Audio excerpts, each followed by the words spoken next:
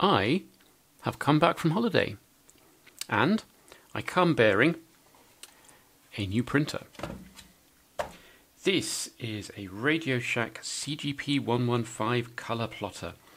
It was originally intended for use with the TRS-80, hence the branding, but in fact it has a standard printer interface on the back and with luck I should be able to make it work on any hardware, even USB. There were actually a ton of these made for all the different 8-bit micros. They're all based on the same ALPS plotter mechanism, which you can just see through the lid here. Now, this is a plotter, not a printer. Plotters work by physically drawing on the paper with a pen. This one uses these nifty little ballpoint pens. They physically draw on the paper. Uh, this uses two stepper motors, one to wind the paper backwards and forwards, and one to move the print head backwards and forwards, which is this. There's also a solenoid that makes the pens uh, physically touch the paper or not, which moves a little bar I'll show you later. It can change pens by rotating the wheel, which is somewhat delicate. And in fact, this whole thing is incredibly delicate and in fact does not work.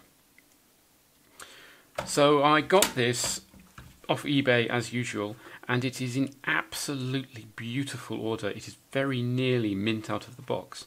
That wonderful 1980s plastic texture is intact. So I would really like to actually make this work to demonstrate it. However, there are a few problems. One of which I have actually managed to fix, which was one of the impossibly delicate little plastic levers inside was broken. But the other I shall attempt to demonstrate, although it might be hard to see on the camera. So we plug it in, and when we turn it on, you'll be able to see it uh, try and do some test drawing. And I'm not going to put the pens in right now because it's just going to make a mess. But so that's it homing the head. Right, it's now trying to draw squares in each colour for each of the four different pens. And you might be able to notice that the paper wheel here, the paper roller, is not moving. Therefore it's unable to feed paper up and down. And if I press and hold the paper feed button, you can hear something happen, but this thing doesn't move. In fact, it seems to want to move a little, which is odd. And you notice that there is in fact a noise being made.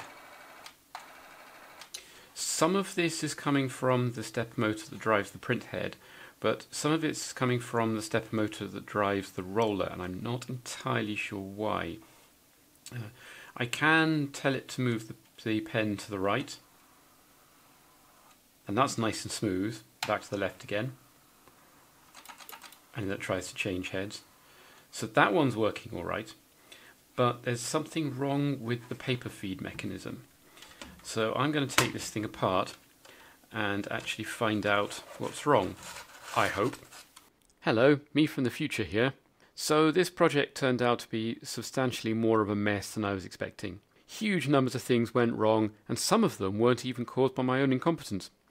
I ended up with five and a half hours of video, and some of the work I did with the camera turned off. So rather than upload all of that lot, warts and all, and make people wade through it, I think I'm going to try and edit down to the highlights and see what happens. Hey, anything's an improvement. Let's get on with it, shall we?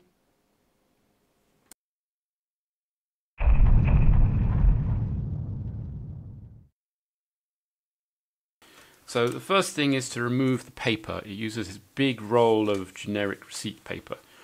So put that aside. And you see there's actually not a lot to it. The ALPS print mechanism lives in here the PCB with the microcontroller on it that runs the whole thing lives in here, and there's a ribbon cable running the running behind. So first thing is to take the lid off. So here is the actual plotter mechanism, this minuscule little thing. There is uh, a step motor in here behind the shield, and another one in here. They drive these little wheels. So this is the one that drives the print head. You can see it moving. That is the, the cog that tends to fail. This is the one that drives the print roller. So I can turn this by hand, and that feels nice and smooth. Does it feel nice and smooth? It felt a bit odd.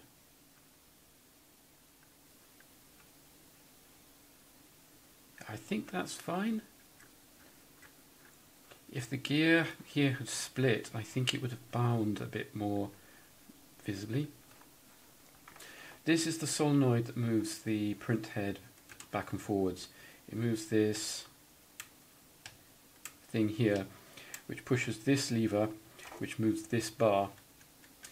It's not actually moving the print head at the moment because the, the return spring for the print head is this tiny little foil thing here and it will only work if there is actually a pen in the print head. So uh, I'm not going to demonstrate that, but I'll put a little drawer on the, uh, the roller. Uh, this was the piece that broke. I managed to fix this by uh, fusing the two halves together using a soldering iron, and I'm still amazed that seemed to have worked. Right, so here is the PCB that makes it all work. Try and get that under the camera. Uh, the actual electronics are in here under the shield. We have some power transistors. Uh, over here we have some more transistors. These are connected to the bundle of cables that goes to the print mechanism itself. So I believe that these are the amplifier transistors that drive the stepper motor signals. I'm sorry, these are not power transistors. These will be the voltage regulators that drive that power the board off the DC supply. I see that they are both 17805, so I can go and look up to find out what it is. Uh, dip switches here for control. I don't have the manual, but luckily the dip switches are documented on the bottom. Uh, so, now this all strikes me as extremely strange, because this is a stepper motor. Uh, it gets driven forwards or backwards in steps based on the polarity of the signals you provide it. There's like four of them, I think, maybe six.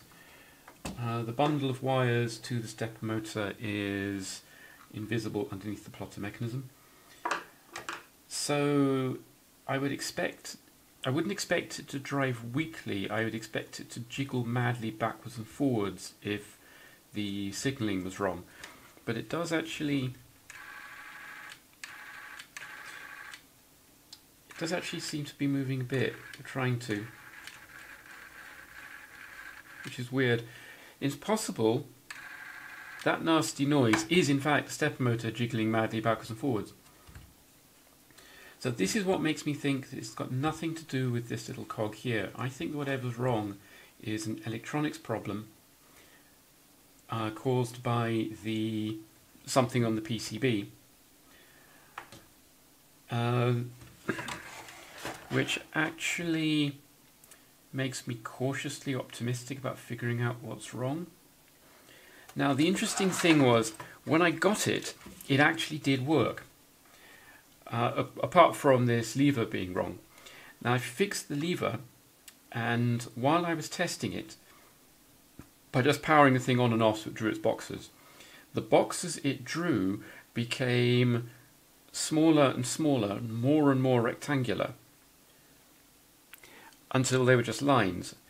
As it began to move the, the roller less and less. And that's very strange that suggests some kind of uh, ongoing failure, which was weird. So the first thing I'm going to do is remove the plotter. Done this, so I know it works. I undo a couple of screws.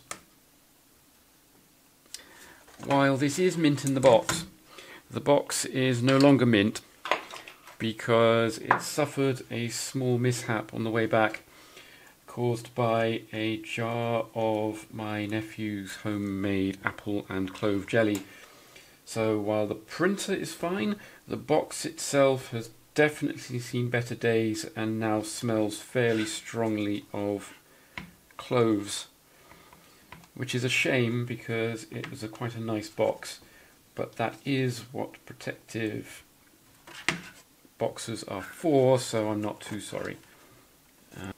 This thing actually came with two complete sets of the very hard to find pens, which is great.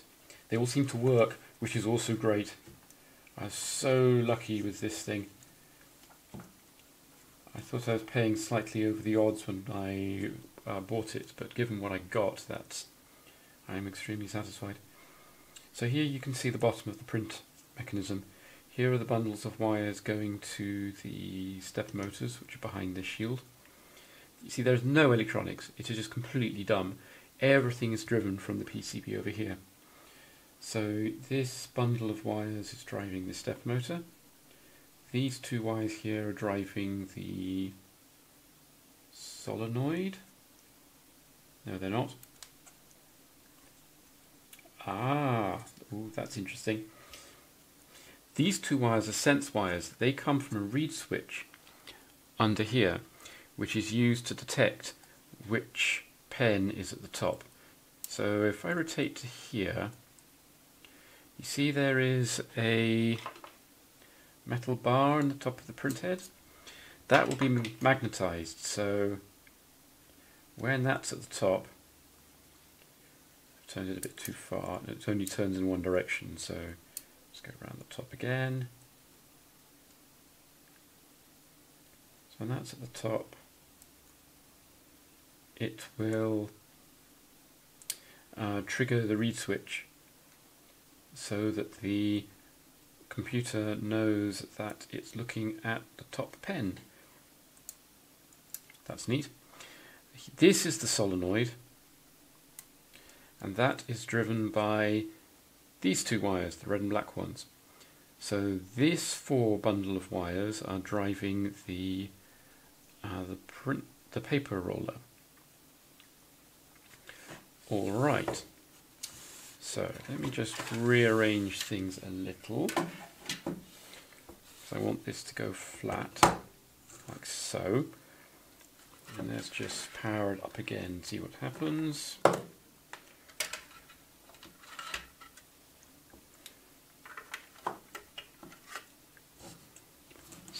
Everything on camera, more or less.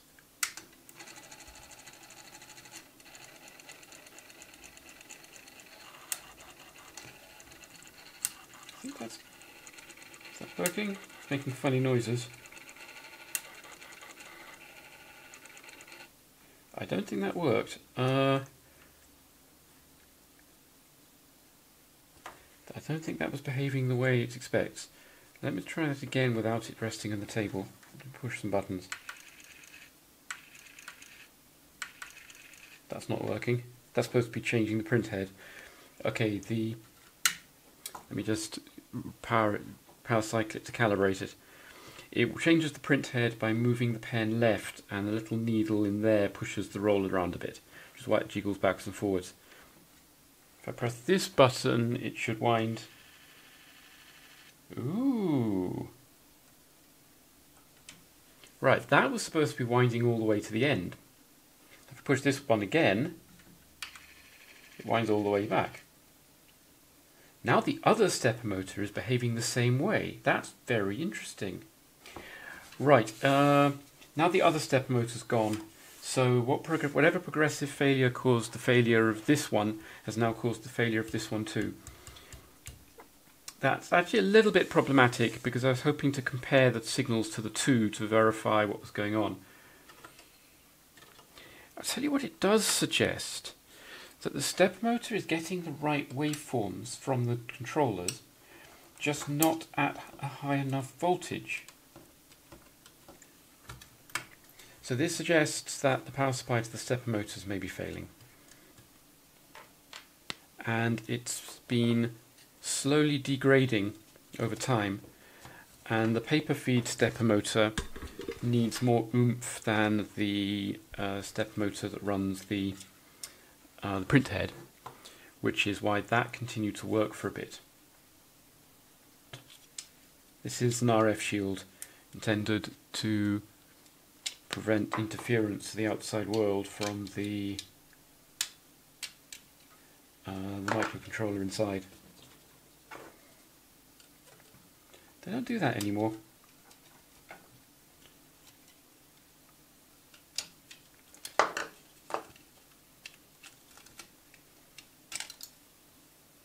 Right. We've got a 6805 processor, uh, some 74LS logic, and a thing. I don't know what that thing is. This will most likely have the software uh, burnt into an internal ROM, which is a shame as I have a nice shiny new uh, EEPROM programmer wanting to read the ROM off. Oh well.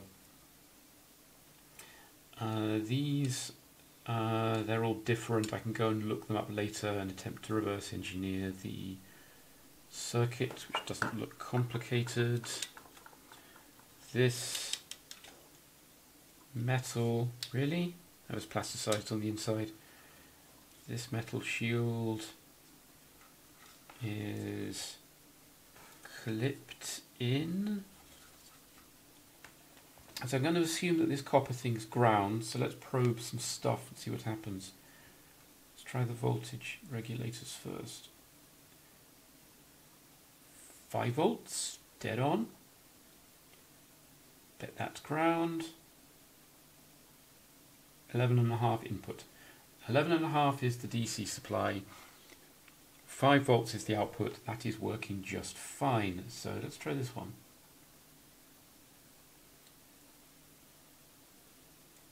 Five point seven. Point seven. Uh. Those should be identical by the looks of it.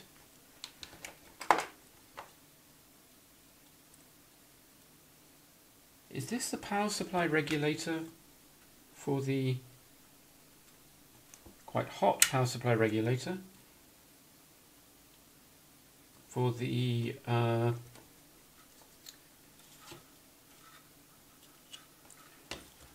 for the stepper motor and solenoid?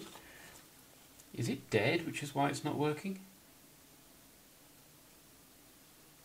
That would explain everything.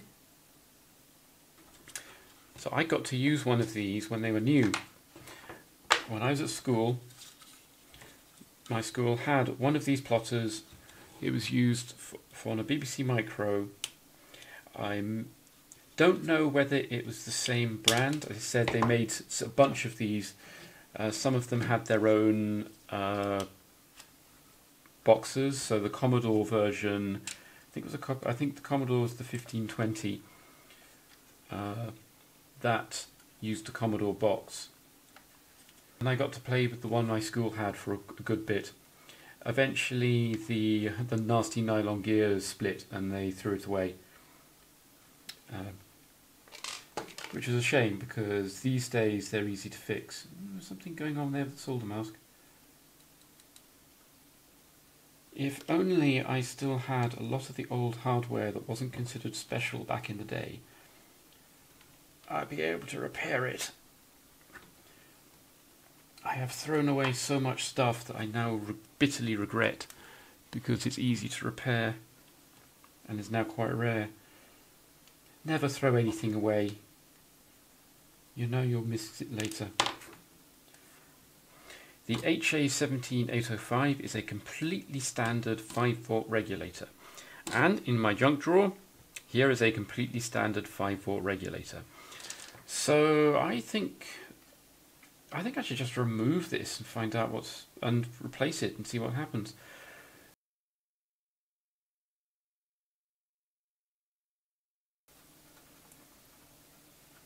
Right, finally. Okay, yeah, that's warm.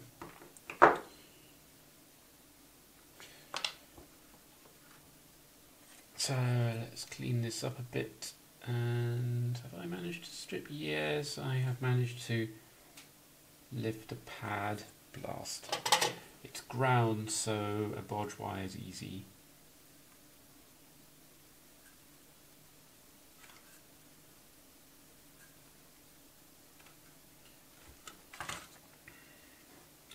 Yeah, that was just too much force, I'm afraid. Uh, that's rank incompetence. I need to get better at soldering. Yeah, I've actually managed to lift several pads. Uh, the ones on the top here at each end are not connected to anything. They're just uh, uh, there's just a pad printed on the top of the board to anchor the component. And I managed to get them all off. The bottom looks okay. Um, I'll need to run a bodge wire from the middle to ground. Uh, this pin here is the closest ground. Here's the replacement component, and yes, I did check that the pinout was compatible. Maybe I even did it right. So we solder the bottom.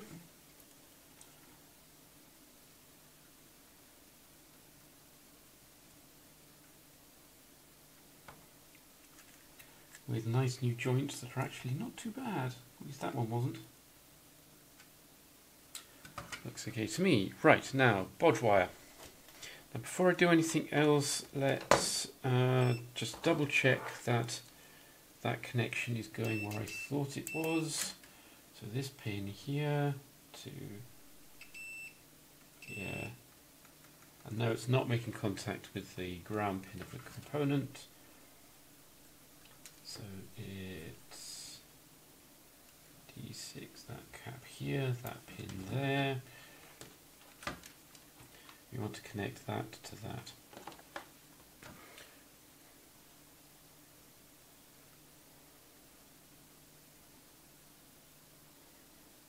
Tack on.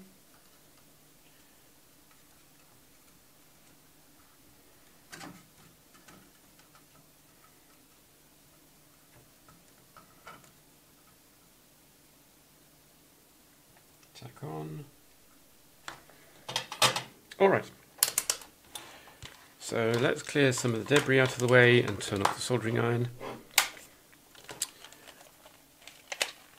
And plug everything back in again and power it on and see what happens. Briefly, because this is not attached to the heatsink. Okay, moment of truth time.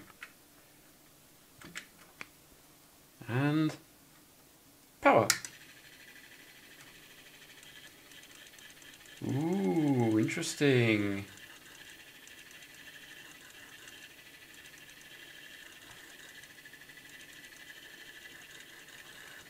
Right, that's doing exactly the same thing it was doing before, and that is very hot. Right. I think that was a complete waste of time. I think something else is wrong. Something down this end.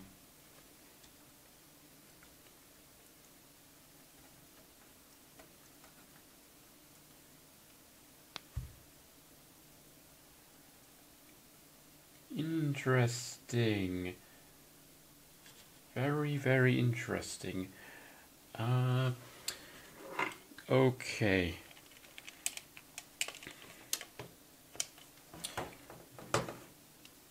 So, I'm going to turn this on and measure the voltage across here, then turn it off again. work better with power.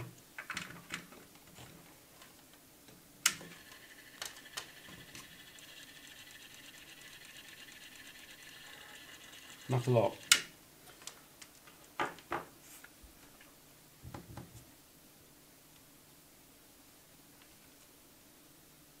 See, this one's not warming up. This one is almost red hot.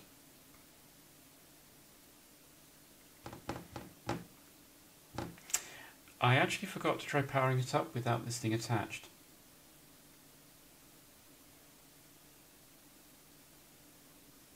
That is worth doing just in case I was completely wrong about what the regulators do. Uh,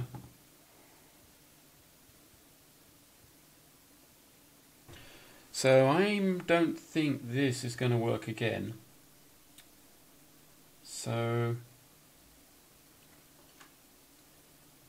given that this is probably a fairly high current device, uh, I think I may um,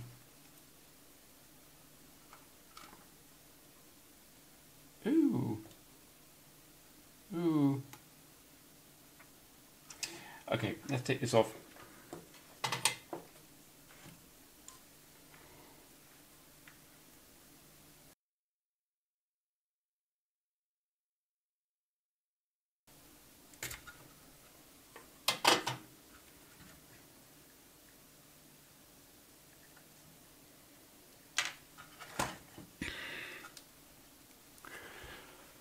Okay, well, I managed to get the component off eventually.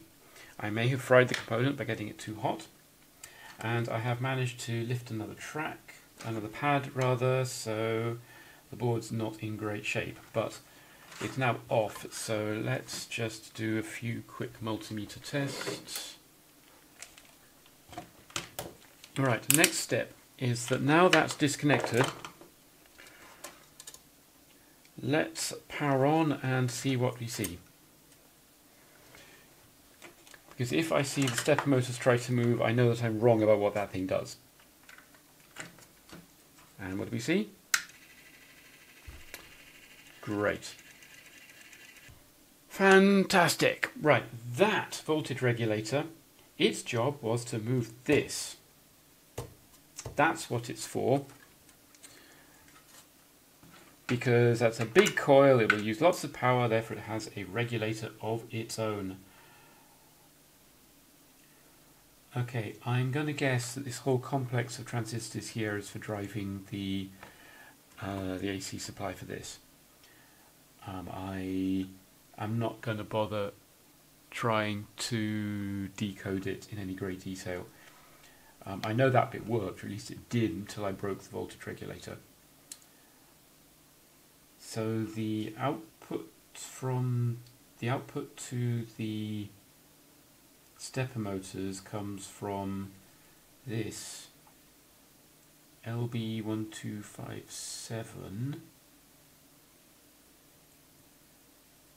This is then connected to the GPIO pins of the processor. So an LB1257 is a driver circuit. It's just an array of transistor networks. Uh, in fact, the datasheet says it is specifically designed for driving XY plotters and it names the ALPS plotter mechanism specifically. So it's dead simple. Uh, voltages come in, voltages come out. Uh, the 9 and 10 here are ground and power respectively. So we've got ground, which is the ground plane. Power is this, it's connected to this, which is a via. Oh, oh, or possibly the other way around. Right, we've got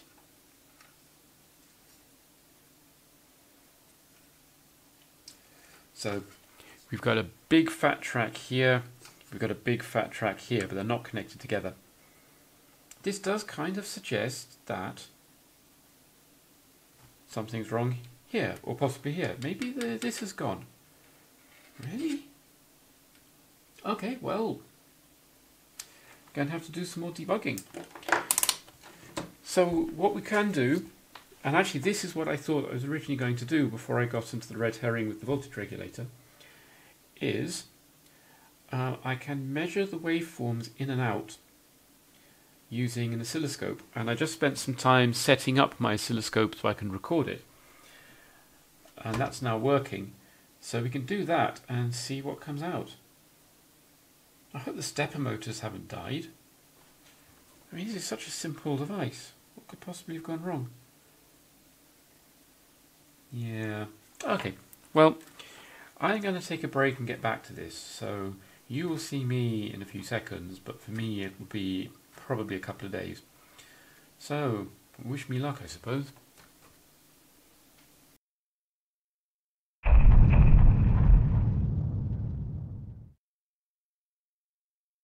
Well, let's get back onto this thing. So, a quick summary for all you people who haven't been paying attention, which mainly means me because the last time I touched this was yesterday. This is not working. It is not. It is failing to feed the two stepper motors in the plotter correctly. Yesterday I attempted to fix it. I completely misdiagnosed what was going wrong, removed probably a perfectly functioning regulator, replaced it with another regulator, removed that regulator again, and in the process slightly mangled the board, lifting a couple of pads. So, that turns out not to be the problem at all. So what I'm going to do now is use my oscilloscope to try and get more information about what's going on. And I'm not going to touch the board until I have more idea of what and why is happening. So what I'm going to do is power the thing up and make it do things and then watch the waveforms that are produced uh, and then driven to the stepper motors. And the way this works is the processor here generates the signals via uh, its GPIO pins here, which get routed to this chip, which is a transistor array used for driving stepper motors. And the outputs for this then go to the feed to the stepper motors. So hopefully I should be able to see something interesting using the oscilloscope and I have managed to hook the oscilloscope up to a camera so through the magic of video editing you might be able to see what I'm doing. So let me just go and get that all turned on and we'll see how it works. Okay, here hopefully it should be and it's probably going to go up there somewhere depending on exactly what I'm doing.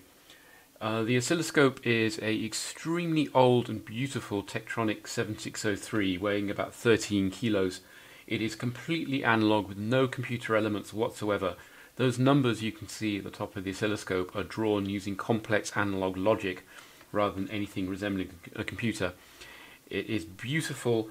I love it. I can barely lift it uh, and I'm using enormous amounts of image processing on the picture you're seeing because it suffers badly from screen reflection and it's got a bit of a tendency to reflect anything it can see, including myself. So you should be hopefully seeing a basic image of what's on the oscilloscope. And uh, here's the oscilloscope probe. It's got a thing, single probe thing and a earth connection. Okay, so I should be able to press this button. Right. It should be driving this step motor. but I can see it going around a little. Just not enough to actually do anything. So now what I want to do is to do that while touching these, these contacts and see what comes out. This is going to involve more hands than I usually have. That one. Interesting. So it does seem to be glitching when I press the button. Let's try this one. Similar, this one. This one. Oops. This one. There we go. Right. So I bet the four down this end are for the other motor. Yeah, the reason why I see it glitching is you see that the head moves slight, sideways slightly. What that's supposed to be doing is uh, moving the pen onto a little metal shield, which you can't see in there, so that when the paper moves, the pen doesn't uh, get doesn't accidentally touch the paper and draw. So that's producing a waveform. Let me just adjust the time base a bit.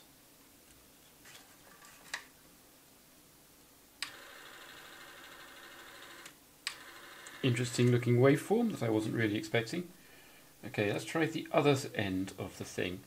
So what you were seeing there was the output. That was the result after amplification. So let's touch it here do the same thing. This is what the processor is emitting.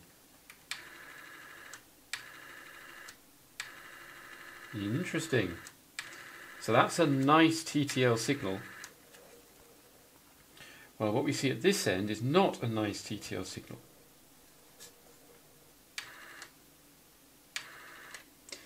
It's floating high when it's not connected, so uh, that's, that is two and a half intervals, which is exactly what I expect. But that's going almost to 6 volts. Okay. That's not actually what I expect to come out of this thing. Uh, so either the driver chip is bad or there's something wrong with the stepper motors which is interesting. So that hasn't got us anywhere closer to figuring out what's gone wrong with the thing, other than the waveform out looks weird. So when I started taking it apart, this motor worked fine, but this one had failed, and I was rather hoping that, that would continue because then I could compare signals from the two, but that's really not really not how it worked out. Okay, so let's do some signal tracing, I suppose. Here's the bottom of the plotter. You can see the the wires just come into pads here and are routed directly to the step motor via these five, uh, five, six, six signals.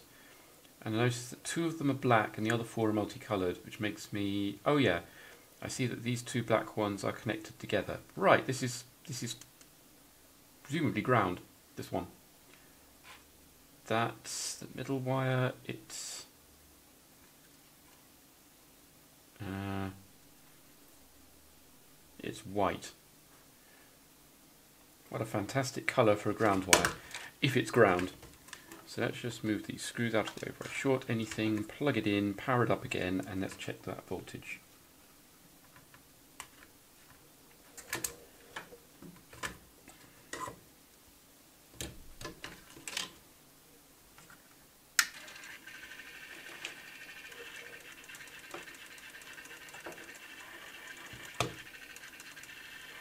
Yeah,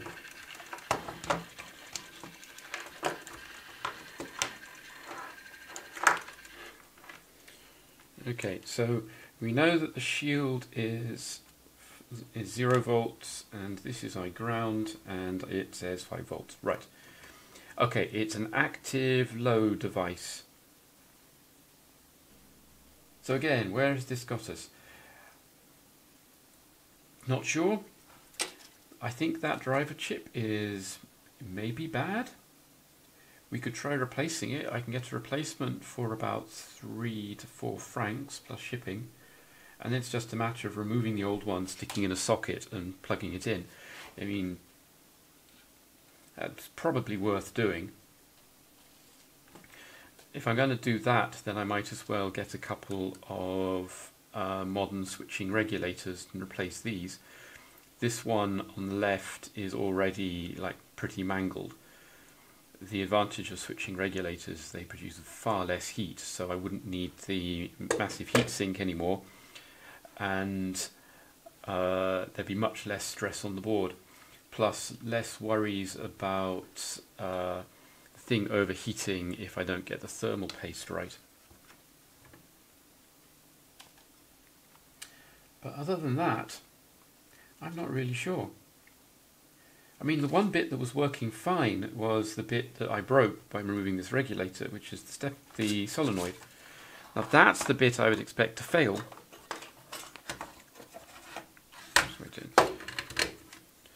The solenoid is this. This just clicks this backwards and forwards.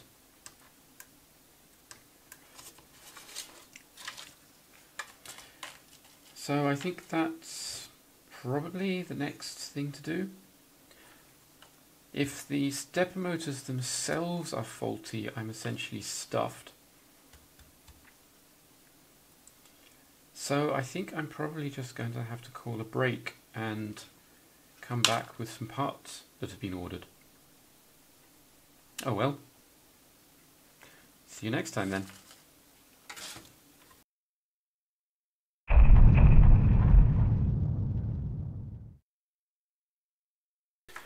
So, I did a bit of research and I discovered that the waveform I observed on the oscilloscope is in fact completely normal. The mysterious hook at the beginning is caused by, as far as I can tell, back EMF from the rotating motor. It induces a voltage in the coils that you then feeds back and you see it in the graphs. So that's fine. This suggests that the driver circuit is completely normal and operating correctly, so all that work I did on the board, including kind of damaging it, was a complete waste of time. Good to know. The person I talked to also suggested something that I really should have thought of myself, which is simply try lubricating the plotter.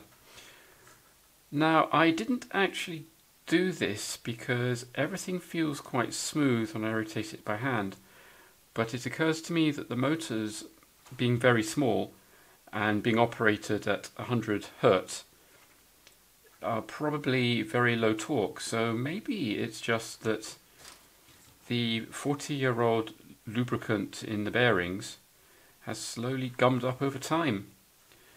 And it worked for a bit and then something got sticky and it stopped working. So let's give that a go. I have two lubricants. We have Contact Flon.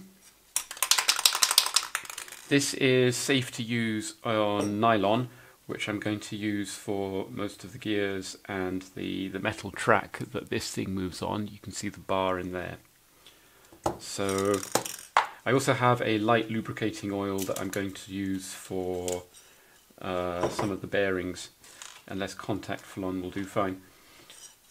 And uh, interesting, this does not actually fit into the nozzle. Well, I wasn't going to spray it directly onto the thing anyway. I was going to spray a little into this. Yeah, it's just stiff. Let's put a bit of contact Flon into the pot. And then I'm going to use this syringe. This is not a hypodermic syringe, it is a ink refilling syringe. It's got a blunt tip. Uh, is it going to work? suck some into the syringe. Yeah, we got a little in there. Because this will then allow me to put it very precisely onto the uh, onto this. So we add some here.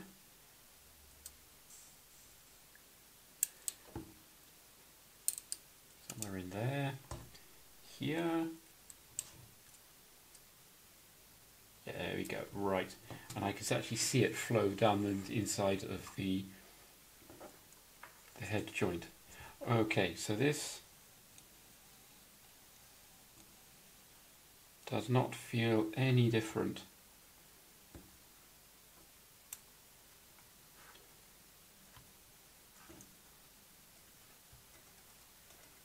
I think that's smoother.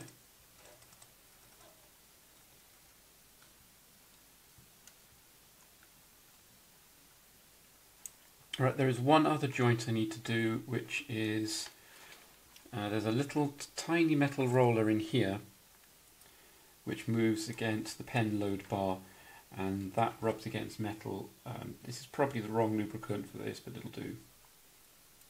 Let's put a bunch in there. Whoops. Dripping lubricant everywhere. Is that smoother? Maybe? Oh well.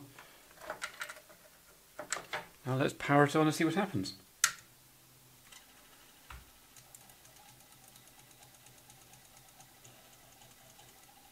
Nope, it's still not working. Okay, so that wasn't a particular success. It may take time to uh, like wear in.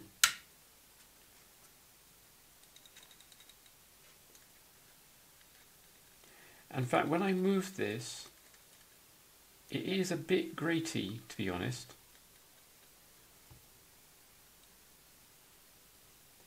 And I can see a dark patch on the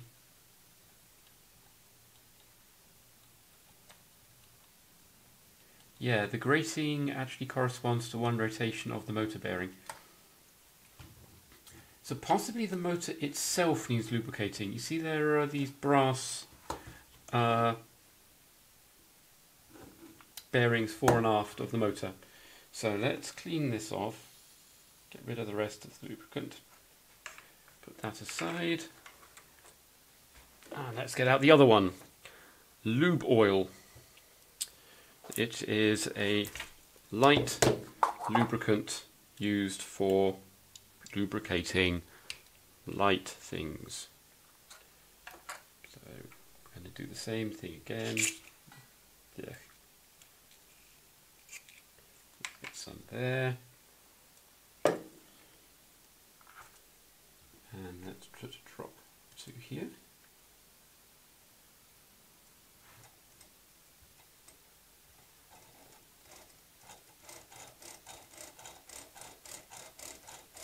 That's not better. Hmm. So what about this side? Uh, this side is terrifying. So the print head is moved with this metal wire, which loops over this pulley, round this, round uh,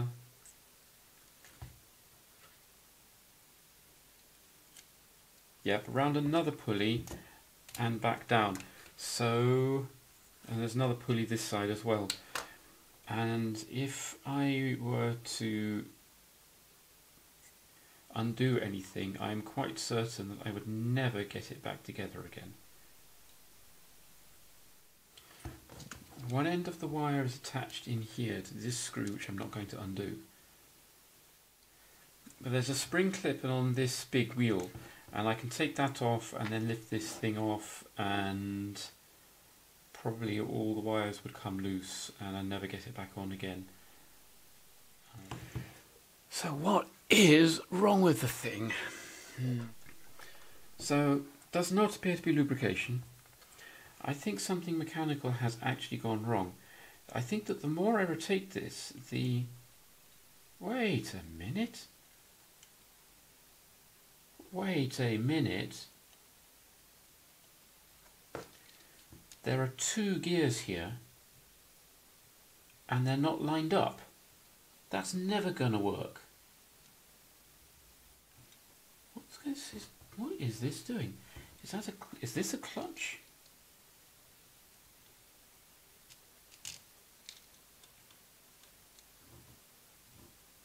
Right, because the two gear wheels both move against this piece here.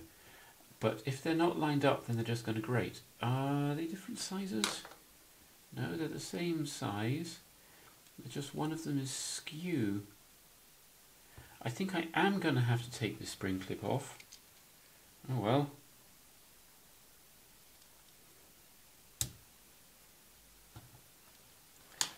Alright, uh,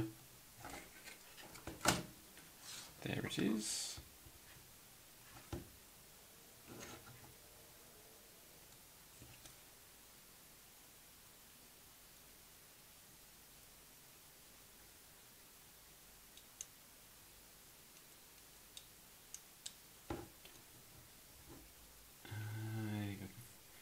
feel the wires tensioning as I pull. I don't want to do this. I think the I think the wires are captured by the, these two pulleys. I'm not stretching the spring. Move the spring up to the other end.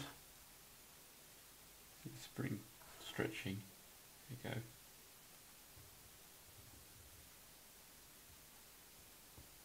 What is this? What's going on here? I think one of these is warped. Oh, That's sprung. It is a clutch. Because both sets of gears are meshed with this thing, so it won't. They they cannot rotate independently.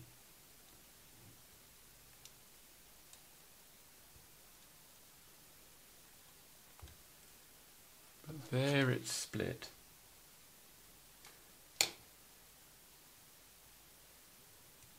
It can rotate like this. So maybe do I just set it and then push it on? Like so.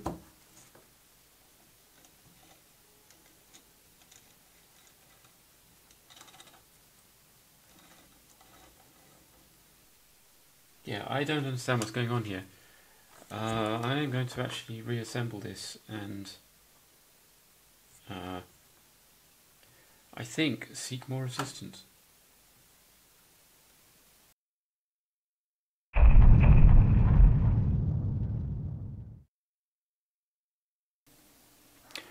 Quick update, I discovered something. So I tried removing this gear and then I tried making the motor drive by pressing the button, button, that button. And you can see that it does indeed go around. But if I rest my finger on it, the motor stalls and there's a loud grating noise. You may not be able to hear on the microphone. There is very, very little torque available. I'm not pressing hard on the motor at all. Uh, it, there's just not enough torque there to operate the mechanism. So it's possible that this is all working absolutely fine and there's nothing mechanically wrong, it's just the motors have failed, which is weird. Um, I hear a rumor that occasionally the head, uh, the rotor, which is a permanent magnet, can become demagnetized.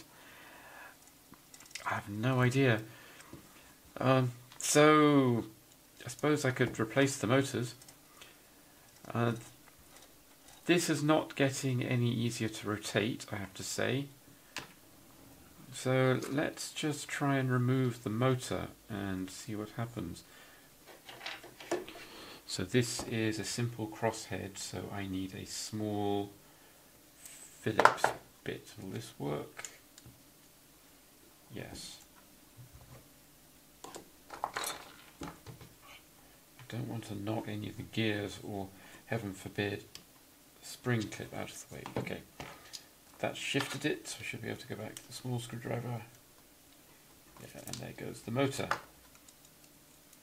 Incidentally, I figured out what the clicking noise as the thing rotates is.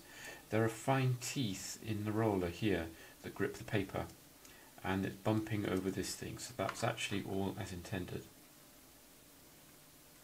There's a brass baffle thing, bearing, not baffle, bearing here. I bet there's one sticking out the other side, and that's what you can see here. You see it does move a little. But the position is such that I the only way to get it out is to move it this way to get the bearing out from underneath this, but I can't do that because it's wedged under there, so... Do I insert a screwdriver and just lever? Uh, yes, yes I do. Wow, what's that? Okay, so here is a motor. I don't know what this thing that came off is. It's small and bronze.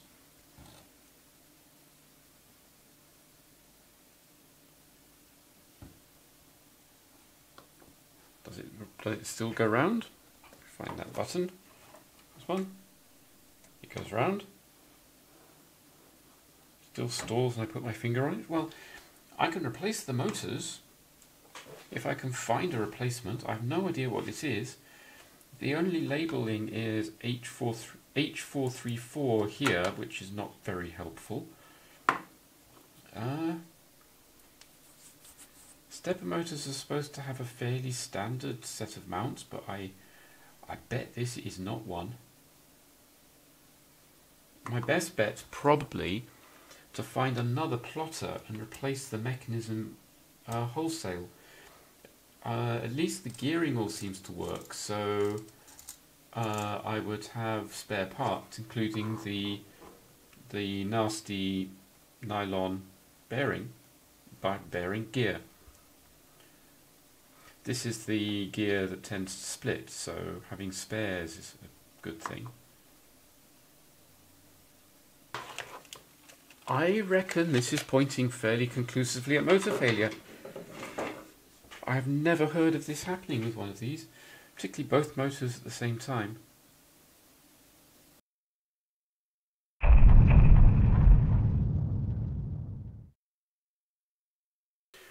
Okay, so I think this motor is faulty. It feels okay, sort of. But it appears to be generating very little torque. So let us try to actually measure how much torque it's emitting. Now I have a rather dubious way of doing this. Let's stick some Blu Tack on, so power the thing up, wait for it to stop moving.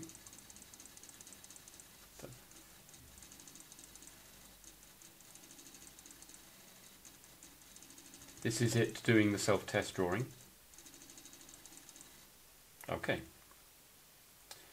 And let us insert this nail.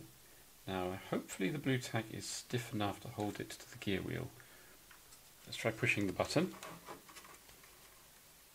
Fun. Uh, it needs to be upright.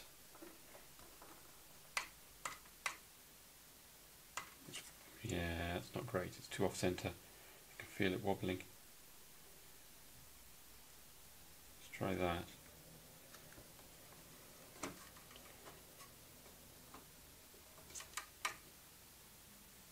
That's better.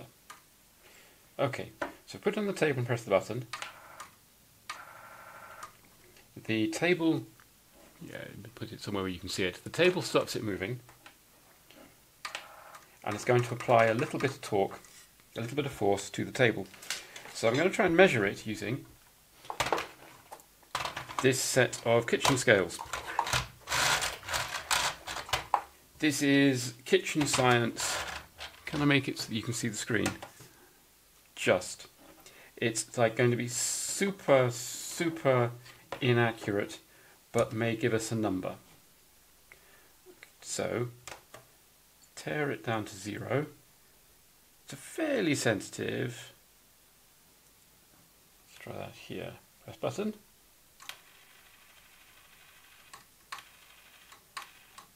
Uh, it doesn't seem to generate enough to measure. So doesn't that doesn't give us any numbers, but does at least does at least give a lower bound, I suppose. Okay, well, what's the smallest amount that this thing can measure? I've got some of these. Five grams. Let's try it over here. Still five grams. So I know it's less than five grams. Let's try one of these. Nothing. This is a bit bigger. Two grams. Two grams. Right, well, we know now that at a distance of, call it uh, 20 millimeters, it's producing force of less than one gram of force. So uh, you measure torque in newton meters. So the number of newtons is, uh, so I'm getting a torque of less than 0.0004 newton meters. I think that is not enough and it is broken. So, let's try the other piece of debugging I was wanting to try. I still haven't entirely ruled out electrical failures. I still don't like that, that feels way too stiff but uh, it could be problems with cables and things. So let's unplug the motor.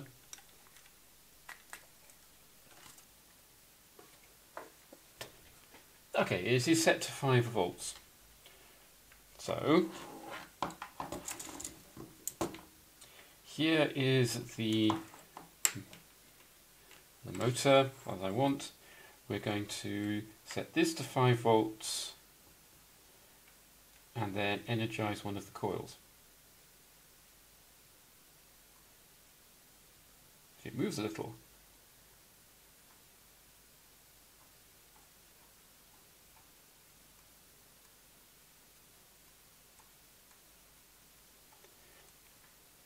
I'm just moving it randomly by energizing the coils, but uh, you can see it turn. Now, kind of what I want to do is to permanently energize it and then try and turn it by hand to see how much resistance there is.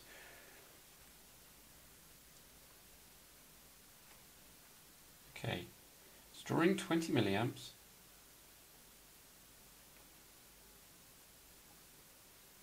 That rotates freely.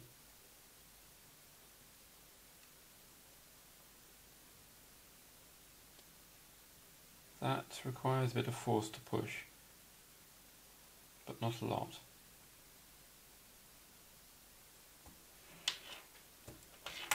So I think this is probably generating the same amount of torque, which is interesting.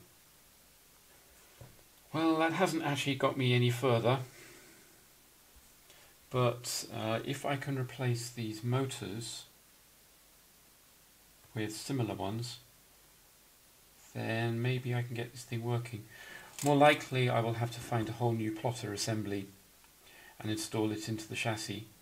That shouldn't be too hard, these things do hit eBay and many of them are broken because the, uh, the spindle gears are dead but I have two working ones here that I can pull off. Yes, interesting. Oh well. So, more news. I took the X-axis motor off in order to try lubricating it. I wanted to get right into the bearings, only to discover that it grates when it goes round. So this motor is basically dead. I think they've both failed, probably for the same reason, whatever that is. I am just going to have to get new motors, or more realistically, an entire new plotter mechanism. Well, damn. Still, it was 40 years old, so look what I've managed to do.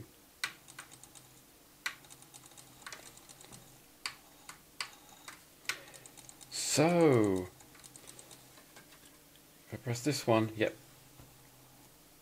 So it is actually now moving correctly, more or less correctly.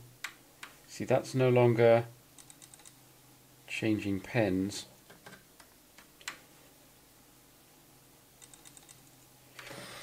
So what I did was I pushed the axle, not with that screwdriver didn't, I pushed the axle in this way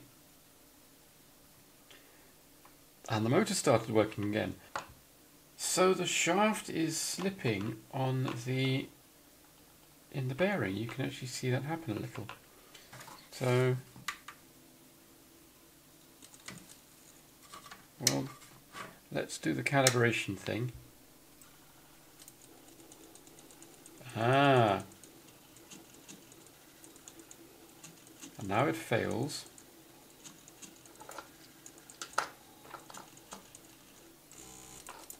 I push it in, it works again. Now it's failing.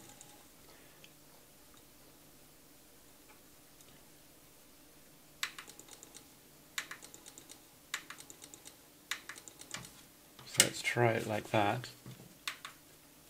Oops.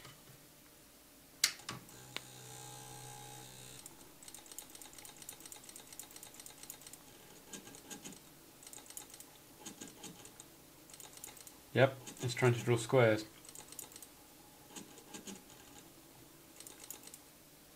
The other motor actually behaves similarly, but weirdly in reverse. So I need to push against this side, this end, and suddenly it starts working.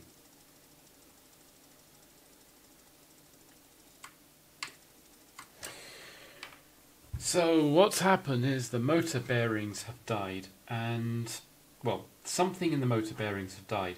This is actual genuine motor failure. And uh, I can try and get replacement motors but these are so old and so unlabeled that the only realistic way to do this is to find another plotter module and cannibalize it. Um, so, I wonder if I can bodge something. For example, something to keep the shafts, keep pressure on the shafts. This one is fairly straightforward because something that just pushes against both sides. Uh, or rather pushes against this side, but I don't want to push against this one. Oh dear. Well, at least I know that the bulk of the plotter works and I can attempt to fix the board and repair the damage I did to it. But what am I going to do about this? I was all set to just give up, you see, so...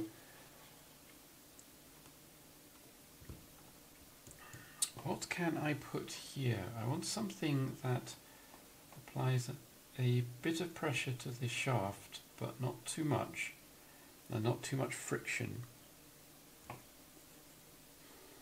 Well, is there anywhere to fasten anything to? Not really. This shield is supposed to go over it, but it just clips on, it's not actually connected to anything. So I can't screw anything on there.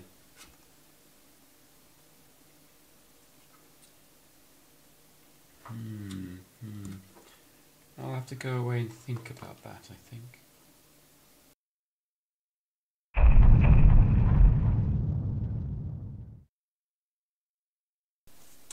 So, I have a cunning plan to bodge this thing into submission and hopefully make it work again. Now, uh, the plotter assembly I reckon is a write-off Ideally, I would replace the motors. I don't think this is going to be possible because I'm not going to be able to find replacement motors that will fit. In the unlikely event which I can, actually installing them will be a nightmare. I am in fact much more likely to find a complete replacement plotter assembly, which I shall just swap into my rather good looking chassis. So I am going to make some modifications to the plotter. Now, the problem is that the bearings inside the motor appear to have collapsed and they only work properly if I apply force to the shaft. This one I need to push the push the shaft in this way to make it work. This one I need to push the shaft in this way to make it work. And I have a cunning plan for doing this. So for this one I need to, whoops, let's not do that. I need to push it this way.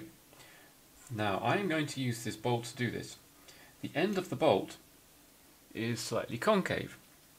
So it will very nicely go on the end of the metal shaft, a spot of oil there and I'll end up with a fairly low friction contact surface.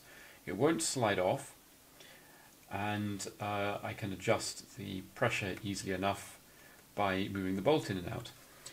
But what's the bolt going to fasten to? The answer is this 20mm washer. I am going to mount this here inside this empty space. And the bolt is going to go in to the washer with a nut on the inside so that I can adjust the position by rotating the washer. How am I going to fasten the washer in? Epoxy. This side is easier. I need to push the shafts in this way. Now, a similar mechanism would involve pushing against the side of the case, and I don't want to modify the case because the case is in really good condition. So instead I'm going to use this.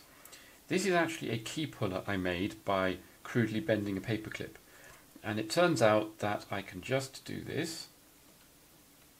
Oops, I can do this rather. Get actually into position, like so. And that provides enough force to the motor. I have actually tried it. So that bit's relatively straightforward. I'm actually going to make a new one that's more custom designed, apart from anything else, I want to keep the uh, the key puller for pulling keys with. Now, chances are that this will not actually make this work any length of time. I think that the bearings are just going to continue to fail, so it will work for a bit and then die. However, one of the things I will be able to do is to measure stuff like the step size of the motor, which I don't know yet, which will help me find replacement motors, if such things exist. So, let us get started. First thing is the washer. So the bolt's going to go here. The washer needs to go about here. And I'm going to use a little bit of Blu-Tack to just temporarily hold the washer in place, get that roughly vertical. And more or less aligned. Like so. The inside of this is nicely uh, rough, so the epoxy should work fine. And this will go in like so. That looks fine. So next step, just do a bit of swabbing with some IPA. Just to clean up the metal a bit, because I've had my greasy fingers all, all over it.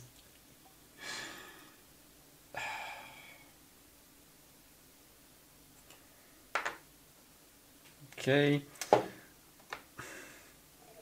Had my greasy fingers all over it, so I'll just dab a bit down here. And that's all I need. So let me just put this away before I start hallucinating. While the epoxy, uh, epoxy, while the IPA uh, evaporates, I'm going to get the epoxy ready, for which I need my two-part epoxy. This is ancient and ew, fairly horrible. Uh, yeah, I can't actually tell the difference between the plastic and the half-congealed rotten epoxy. But we squirt some, quite a lot actually, into the pot. Uh, put the cap back on, hopefully the right way round, like so.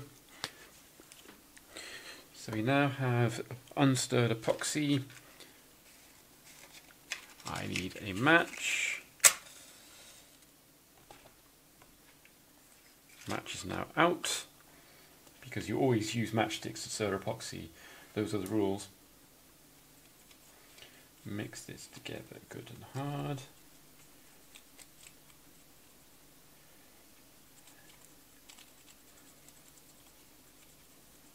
Like so.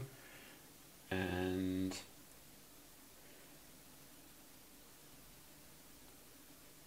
dab it onto my washer. There's probably going to be quite a lot of force involved here, so I'm actually going to put a fair bit on.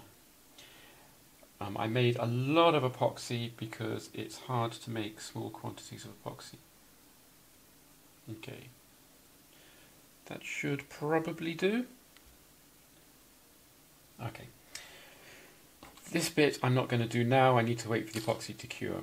But there is something that we can do while we're waiting, which I'm going to do now, and that's to deal with the power supply issue. Because uh, I mistakenly removed one of the regulators from the board and made a bit of a hash of the board. I lifted some pads. And the other regulator is also a linear regulator. And I don't like these. They get really hot. I don't like the fact it needs a heatsink. Just running this thing on the bench without the heatsink attached, this has been getting pretty warm. So I'm just going to replace them both with uh, modern buck regulators. Uh, getting ahead of myself here. Here is one of them. It's a cheapo Chinese adjustable power supply module. You feed voltage in, out comes voltage at a particular uh, volt, out comes electricity at a particular voltage. You can adjust the voltage by rotating this pot. They're cheap, they're cheerful, they work reasonably well. So I'm going to use a couple of these. The, this board uses two regulators this is the one for the electronics and stepper motors.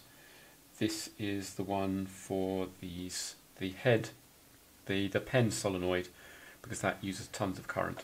So I'm going to stick with the same plan and use two different power supplies. Uh, so because I'm going to replace them with the buck regulators, I don't need the, you can't see it because it's not on the camera, the big chunky heatsink anymore, so I'm going to take that off. It just screws on, which is nice. And I have an ulterior motive for this, which is it gives me two screws and two screw mounts, ideally suited for placing the regulators. So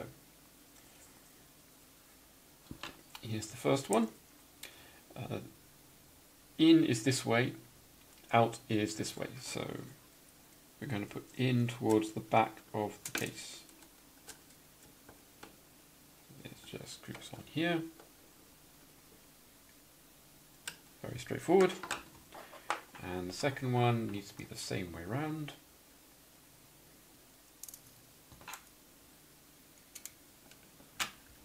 Goes here.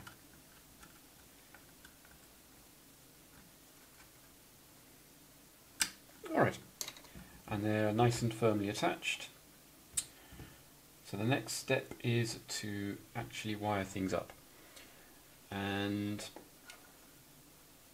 this involves working on the board for a bit. So the first thing is uh, I want to remove the second buck, uh, second linear regulator and this time I'm going to do it properly as opposed to the first one. So how do you get these things off properly? Well, what you do is you sacrifice the component and just chop it off.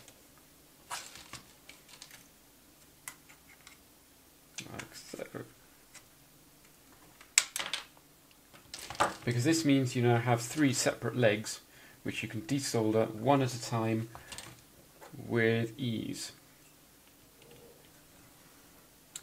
And the last pin is actually invisible behind the shield. But it comes out easily enough. So this now gives me three holes which is V out, V in, two, two, two different V outs. Uh, this is the one for the power supply, this is the one for the solenoid. Okay, first is to remove this patch wire because I don't need this anymore.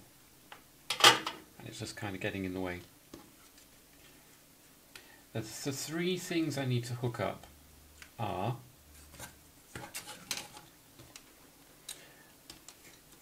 uh, grounds. See, I was hoping that these would be connected together, the uh, the electronics ground and the solenoid ground, but apparently they are not. I thought they were from last time.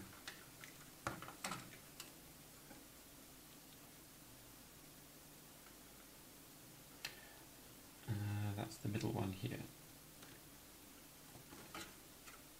So they are going to need separate grounds, one to each power supply. Uh, the other thing I need to hook up is of course the 5 volt output, one of which goes to the electronics and the other which goes to the solenoid. And the third thing is the V in, and these should be connected together. They are connected together. Yeah. And that's just straight to the uh, the input from the power supply. Yeah. Uh, and in fact, this is the input here. It's this big track which goes to here to here. They're both connected directly together and one end to a smoothing capacitor. So the two grounds are a little bit more interesting because one of them is on the top here and the other is the other is connected directly to this big copper pad. So let us attempt to clean out some of these holes. So I'm going to need to put wires in them. There we go. Right. So we have three holes for the electronic supply. Now what am I going to do with the solenoid supply. Uh, I managed to lift a pad for uh, this is V out. This big chunky track here connects down to the power transistors that generate the solenoid output. So I think, can I put a wire through there? I think I need to clean that to be honest. Or I can just solder the wire onto the bottom. Uh, there's also, I need ground, but the ground track is at the top. So I will in fact... Wait a minute, what is this connected to? There is just the one track. It runs from this hole to this diode and nowhere else. Ah, right. Right.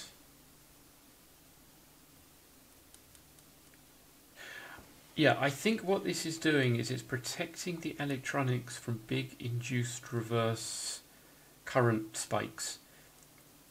So the solenoid has a big coil in it and it stores a lot of energy and when, it, when you stop energizing the coil you get that energy back out again as reverse uh, voltage. And I think that this is protecting, allows the, the two grounds to be connected together but it prevents current flowing backwards from the solenoid into the electronics.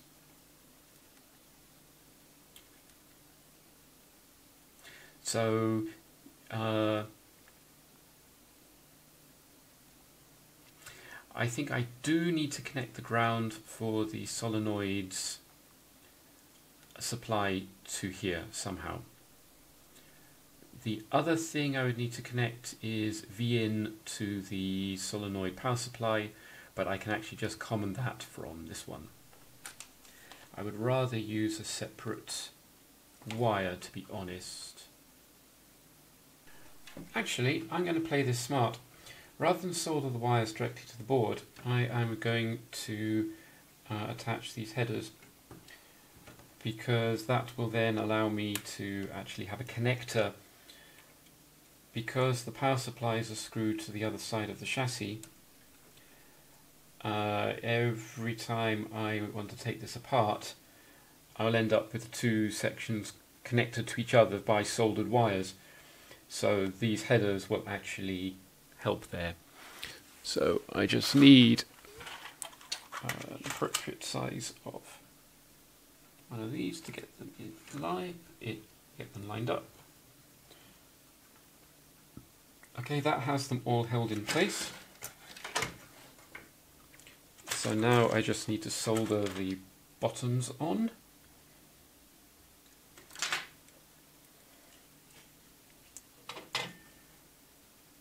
So this is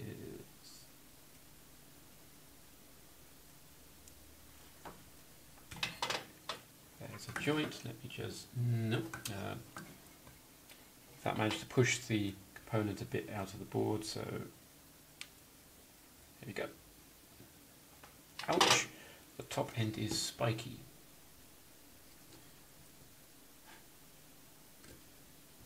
Uh, I just need to arrange this a little.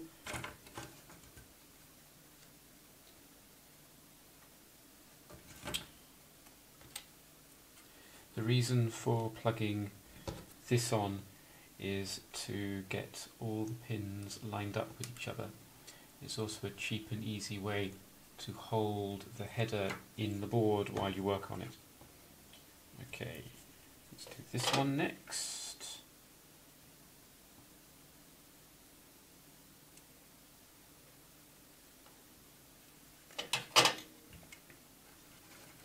Double check positioning.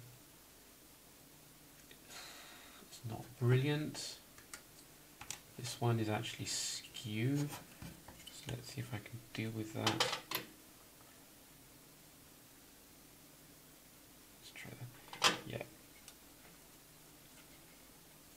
That looks better. Does the plug still go on?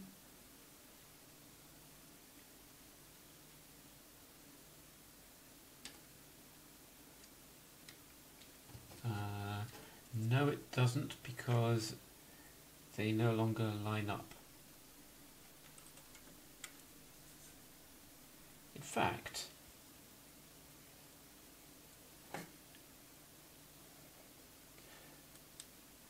they are not, uh, the two sets of connectors are in fact not uh, a tenth of an inch apart. So no, this plug would never have gone on. Gone on. That's why it wasn't working right. Uh, never mind. They're both reasonably neat now, so let's solder that other joint. There. I've done that one. Try and get access under the shield. Gives me access to this one.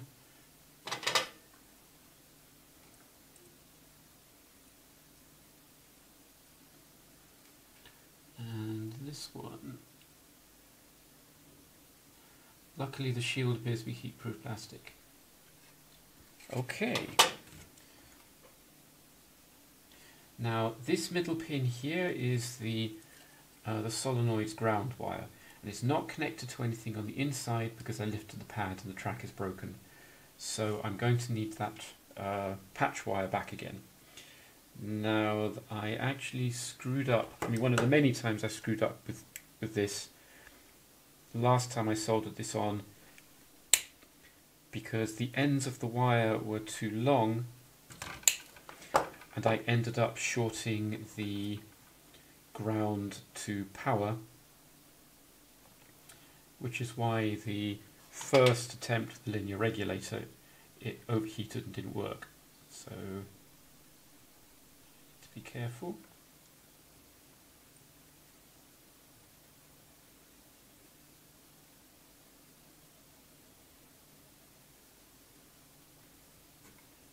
Is that reason?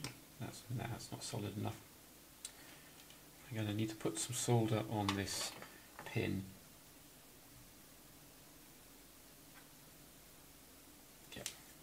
Because there's no pad to connect the pin to, the solder just blobs up around the pin and it's really unpleasant.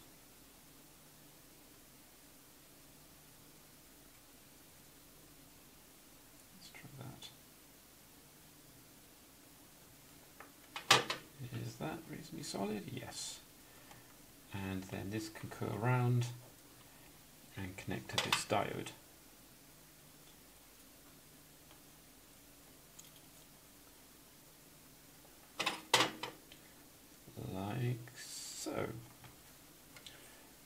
Okay, so we now have some header connections. Uh, let's beep that out and just make sure that it is, does appear to be connected to sensible things.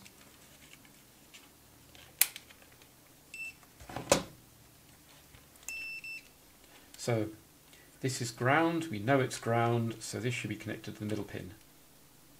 Yes, but not this one. This has its own ground. Uh, the 5 volt line we know is uh, available down here on the driver, on the, uh, the motor driver, and that should be connected to here. Yes, uh, but not to this one. That's correct. We know that these two pins should be connected together because they are V in. Yes. And we know that this is the solenoid ground and that should be connected to this. Yes. This is the solenoid power line and it comes down here to the top end of this power transistor. So let's check that. Uh, this is the solenoid, here is the power transistor. Correct. Alright. So we now have headers on the board. Next step is to come up with a couple of connectors for which plug onto these. Uh, this involves crimping things for uh, these things. I have a kit somewhere. I will go and fetch that. Or alternatively, I have a million of these. I can just pull off set to three. So we have uh, red, orange and yellow Here we have a matching set of red, orange and yellow. They've got connectors on one end and pins on the other. All very easy. No need to crimp anything. So this will go on the board. We're going to use red for, for the actual V out, orange for ground, and yellow for yeah, and yellow for uh, V in. They're all the wrong colours, but that's what I've got, so I'm going to go on. There we go. And the other side uses the same colours in the same order.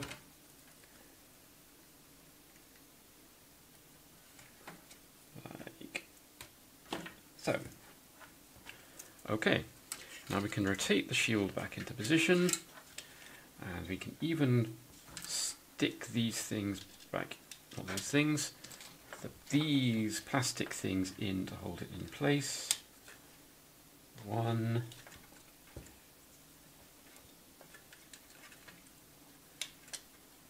two, and oh, three. There's one.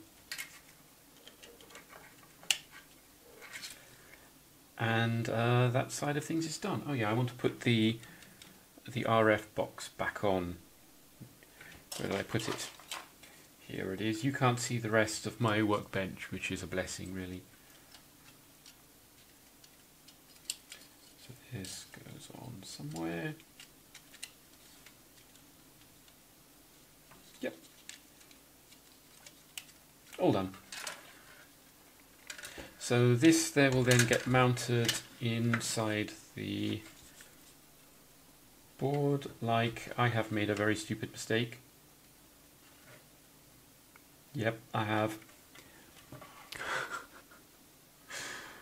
I've put these connectors on the wrong side of the board. Go me. So the correct thing to do would be to desolder these, but I really don't think I'm up to doing that without ruining the board.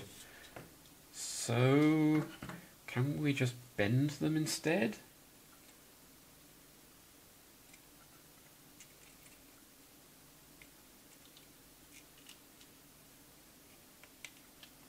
The answer is yes. Poorly.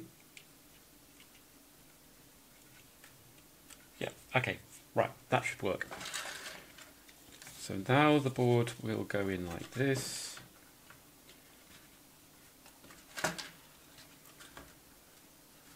It's still not brilliant because there's not a lot of clearance here, but it should work. Anyway, the next bit I do is uh, on these. So unplug all this lot and put this aside.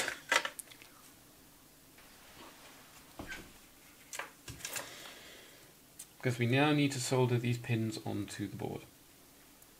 Now the colours we I had decided on was red for V out, uh, orange for ground, and yellow for V in.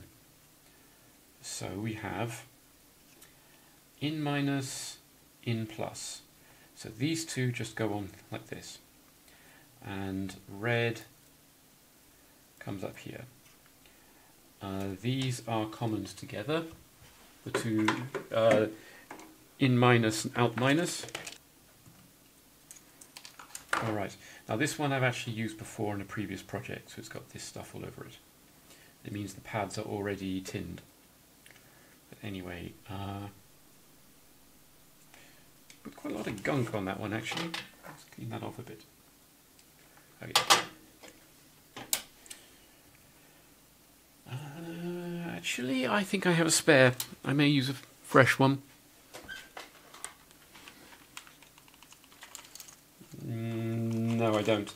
This one uh, already has pins attached to it. Uh, just while the soldering iron heats up. I have a number of cheapo modules. These are voltage converters, 3.3 to 5.5.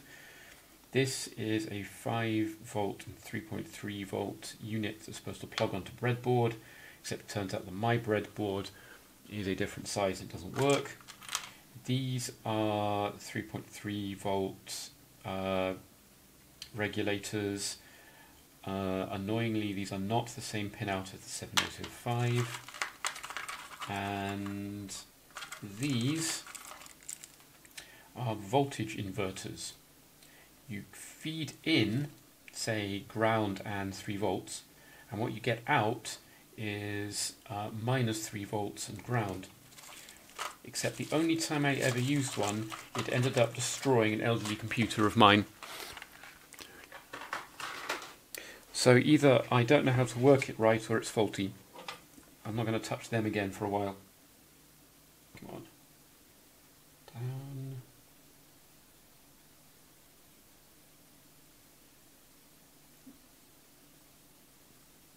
Yeah, there we go. They'll drift like mad but that should work. Okay, so I suppose the next thing is the smoke test, which is to plug in the 5 volt lines and then turn it on and see what happens.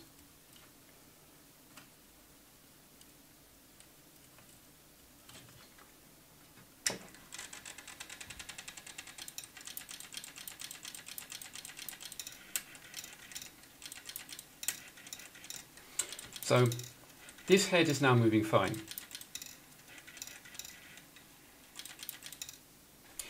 However, the solenoid is not working. Why is the solenoid not working? If I start it up with paper feed press, it actually does more of a test.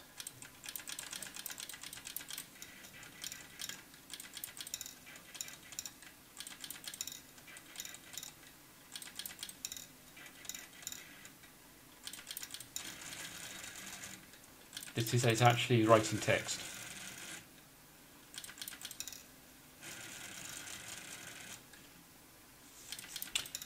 Solenoid is not working. Why is the solenoid not working? Uh...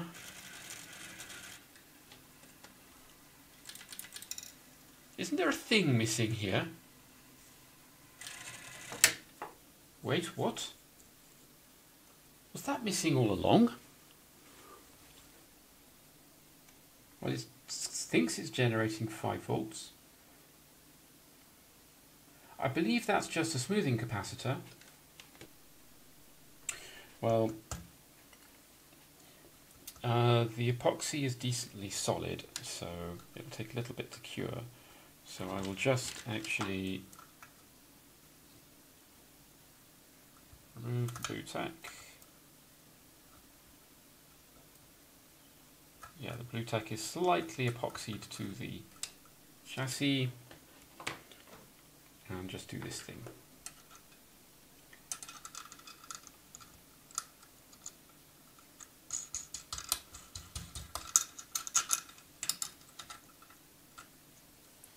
So that goes on like this.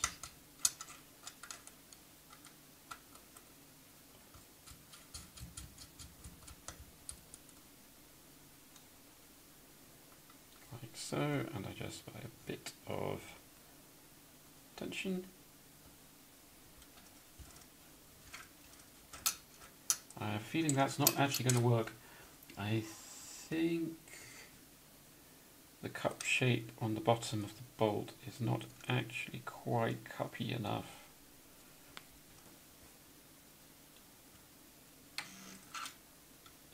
Yeah, that ain't working. Uh, this this principle will work. I just need something else under there, some kind of uh, low friction thing. So let's just wind that back a bit, just get that out of the way, and let's have another look at the solenoid. Let's try that. What the hell? Uh, weren't these supposed to be attached to something?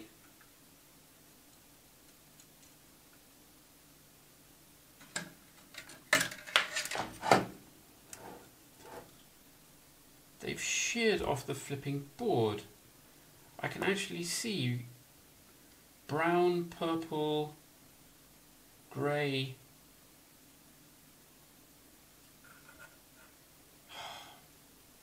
Okay, suppose we better put those back on then. These. So I should be uh, clearing the holes and putting the wires through, but I'm not going to because that will involve way too much assembly in the board. So just putting nice clean solder blobs on the broken pads. Like so. Starting with grey.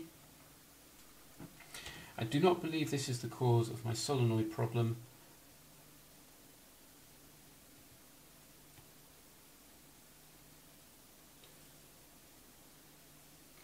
But I can always hope.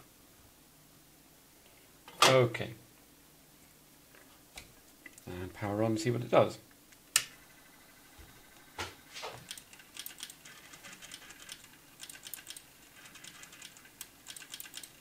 No solenoid.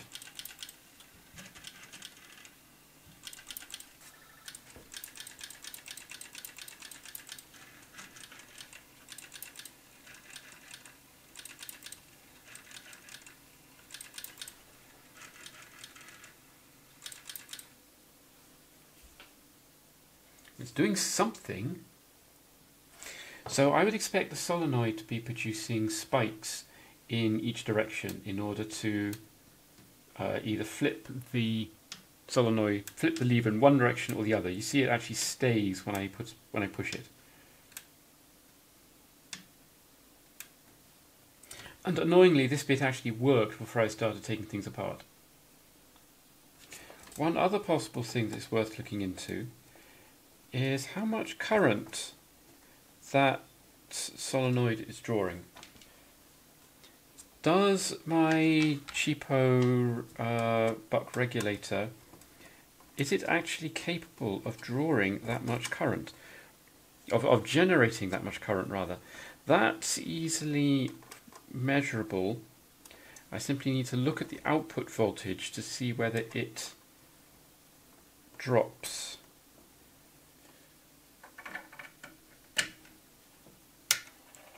So 5 volts, ooh, that's not smooth.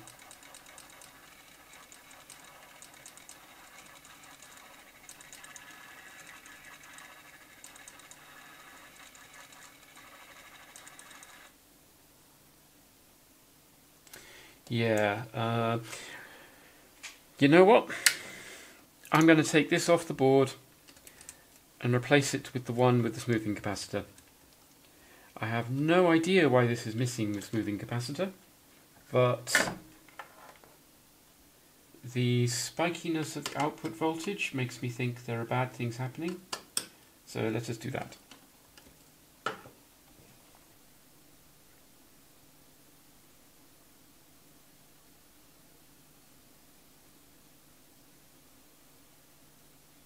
Right, loop.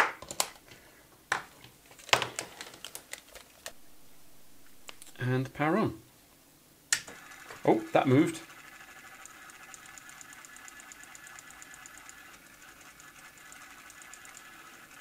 It's not moving again.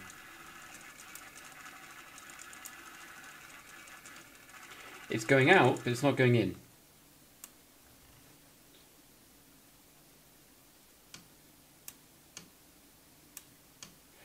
I think this may not be generating enough oomph.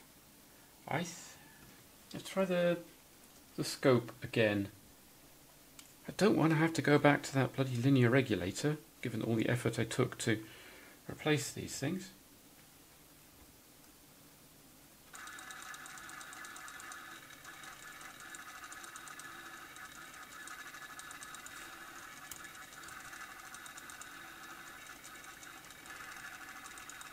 Oh, that's completely rock solid.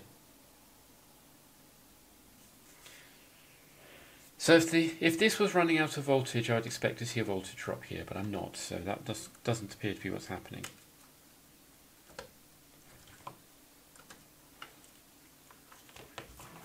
So the other thing is to check the uh, the output voltage from the that's actually going to the solenoid. Let's do that again. First it draws the boxes.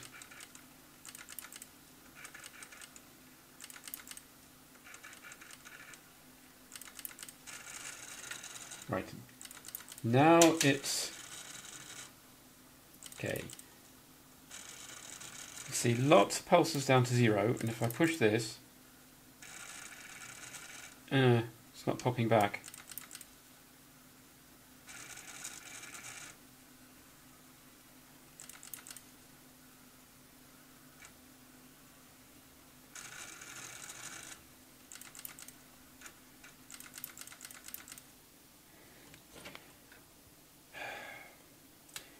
Either the driver logic, driver transistors here that are trying to make the stepper motor work, the solenoid work have failed, or something in the solenoid has failed. I don't know what. But frankly, I've been at this hours today, so I am going to give it a break and try and figure out more. It was so nearly working too.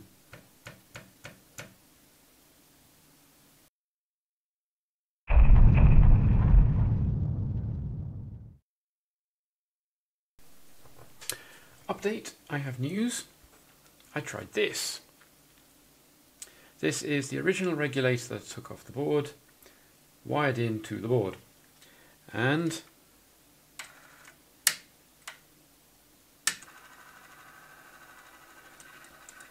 So watch what happens. Let me just plug this thing back on.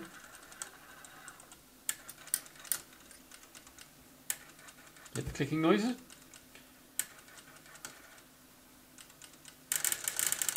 And this is it drawing text. So this regulator works. This one does not. But this was generating rock solid 5 volts. So why was this working but this one wasn't? Let's wait for this to finish.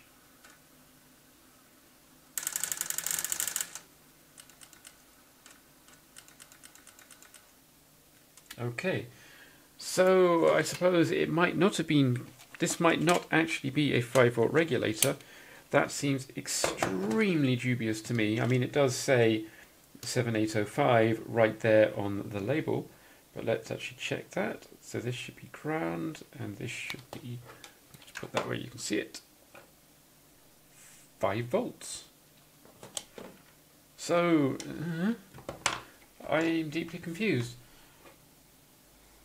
Well,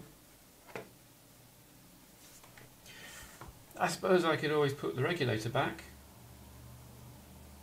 Then I would need a heatsink. I mean, it's not getting warm, but it's not drawing much.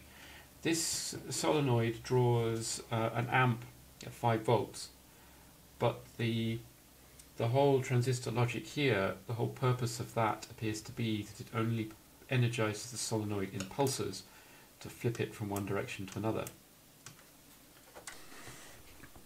Okay, I've done a bit more work on this. So, if this thing wants a linear regulator to run the solenoid, it can get a linear regulator to run the solenoid. And so I have done this.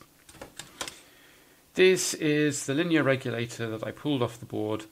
This is not the the original one for the pen solenoid, which is this one. It's the one that ran the electronics because I snipped this one off the board and therefore it's less likely to be overheated and wrenched around and uh, in lieu of the big metal heatsink I have attached this little aluminium thing. Now this should be safe because uh, the head seems to draw lots of current in very very short bursts.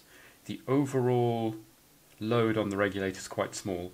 It's the other one which seems to use most of the power because the other regulator is powering both the electronics and the stepper motors which run continuously.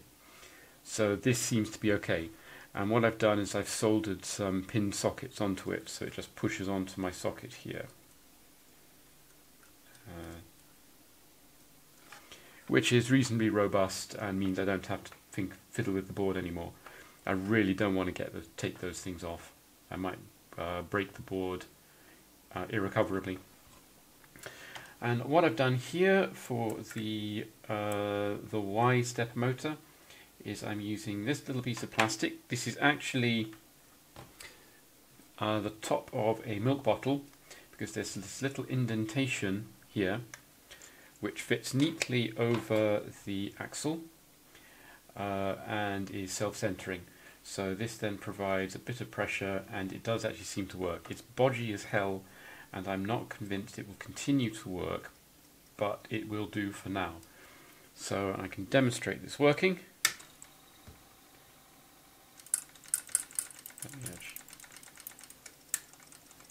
So this is all moving normally.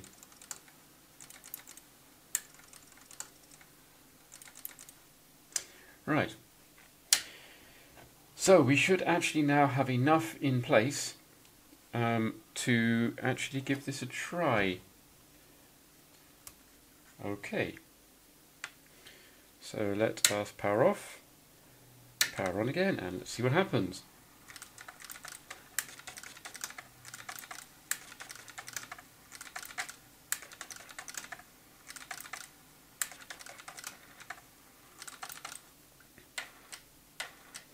Right, it's it drew something, but there's just not quite enough oomph to make the paper feed work. Yeah, I need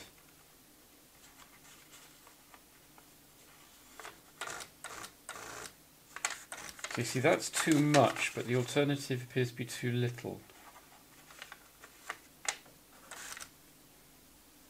Let's try that now.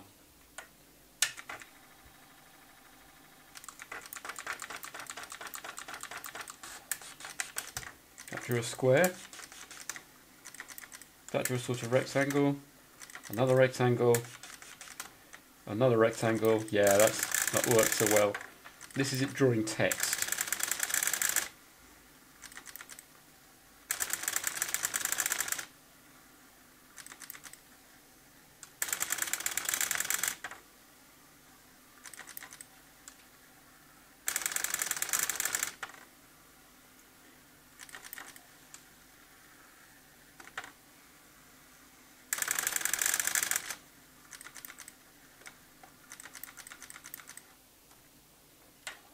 Yep.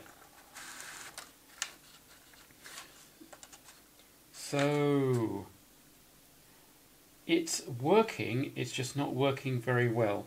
I can see small text here about the right sort of shape. It hasn't fed correctly onto the next line. Yeah, I'm going to have to come up with a different solution for this. So a bit of a marathon later, I have it all put back together. I actually made several changes, including replacing the paperclip that was holding the tension on the X motor, mainly because I lost the black one. Uh, there's a bit more tension now and it does seem to be working rather better. You can see it there, slightly different shape. Uh, on this side, I drilled a cavity in the end of the bolt and added this rubber washer to give more consistent pressure. That seems to be working better as well. Uh, you can see that I've put it all back in the case. Another thing I made was that I actually managed to solder the brown and grey wires onto the motherboard the wrong way round, so these two buttons were swapped. That is now fixed, and it is now working a lot better, as I shall hopefully demonstrate. So uh, hold down the paper feed button to do the self-test, turn on. So it draws the black square, it draws a blue square, it draws a green square, it does not draw a red square.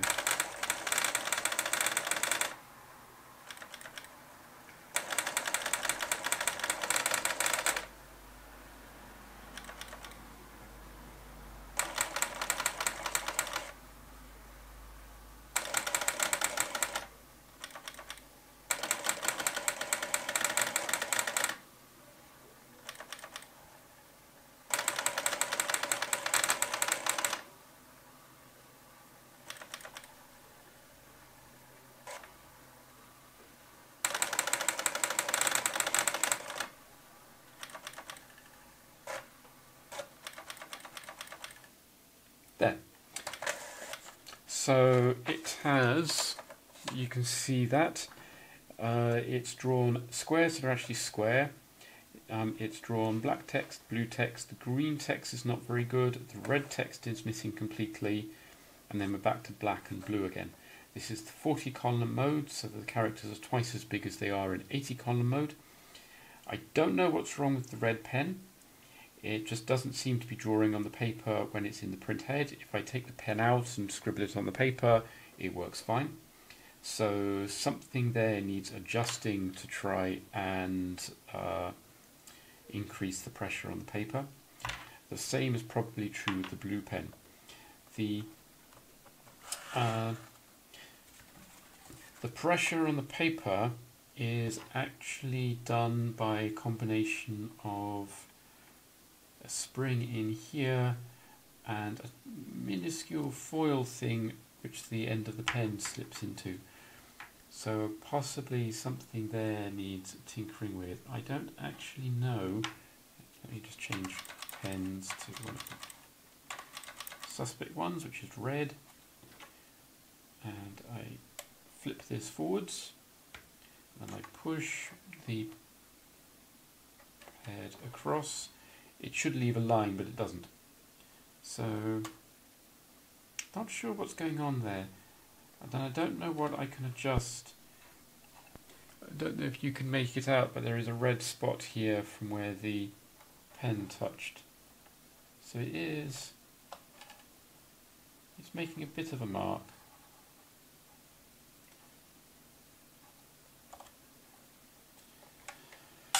So it's now in mostly good working order. Apart from that.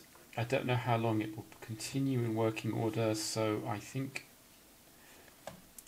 I think I will wrap this up as it's enormously long. I have managed to bodge the thing back into working order for at least black, which is fine to be honest. I'll continue to tinker a bit to see if I can make the other pens work. Possibly they're just old and not particularly good anymore. They are like all 40 years old. And I think I shall attempt to set up a proper demo video of this thing, which is not part of the repair video. Anyway, well that took way more hours than I was expecting. And now I need to try and figure out some way to edit this all into uh, shape to stick this on YouTube. That will be exciting and probably the hardest part of the entire job. Anyway, I hope you enjoyed this video. Please let me know what you think in the comments.